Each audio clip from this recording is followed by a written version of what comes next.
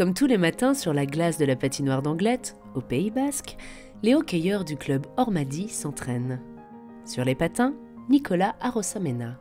Né dans l'archipel de Saint-Pierre et Miquelon, Nicolas fait le chemin inverse de ses ancêtres, des pêcheurs basques partis gagner leur vie dans l'Atlantique Nord. Lui est venu sur la terre de ses aïeuls pour vivre de sa passion, le hockey. Je viens de Saint-Pierre-et-Miquelon, je suis Saint-Pierre. J'aimerais bien savoir d'où viennent mes ancêtres pour voir un peu l'attachement euh, qu'ils avaient au Pays Basque. C'était surtout euh, des pêcheurs qui sont venus sur Saint-Pierre pour pêcher la baleine et après qui sont, qui sont restés pour pêcher la morue. J'ai parlé un petit peu avec des gens d'ici et ils m'ont dit que ça venait un peu plus bas quand même, un peu plus proche de l'Espagne à la frontière ou un peu plus côté espagnol. Si la pêche a peu à peu disparu de l'archipel de 6000 habitants, un sport est bien présent dans le quotidien saint-pierrais. Le hockey. Un sport qui a amené Nicolas à Grenoble à l'âge de 15 ans. Il se rêvait hockeyeur professionnel. La seule solution était de quitter son île.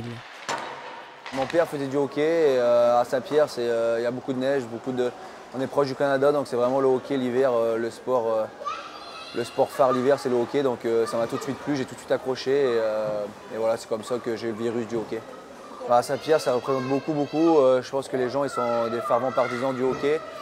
Les gens ils mettent des drapeaux aux fenêtres chez eux pour supporter leur équipe, donc c'est vraiment, vraiment comme une religion, je veux dire, à Saint-Pierre. C'est pas très très grand, tout le monde se connaît plus ou moins. Euh, je suis arrivé en France où euh, c'était beaucoup plus grand. Grenoble, c'est quand même une grosse ville. Euh, au début, ça a été un petit temps d'adaptation. Ça n'a pas été facile pour moi au départ. Aujourd'hui, la vie de Nicolas est bien loin de son île, de son bout de terre, de Saint-Pierre.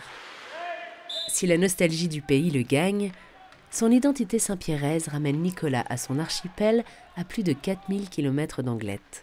Ça me manque un petit peu et et après, bah, l'été, d'aller plonger avec mon père. Et euh, l'hiver, un peu la neige, jouer au hockey.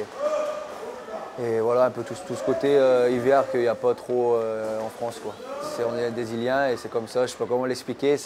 on a vraiment des grosses, grosses racines à Saint-Pierre et on est vraiment rattaché à, notre petit bout d'île. Donc on dit toujours qu'on est Saint-Pierre avant d'être dire qu'on est français.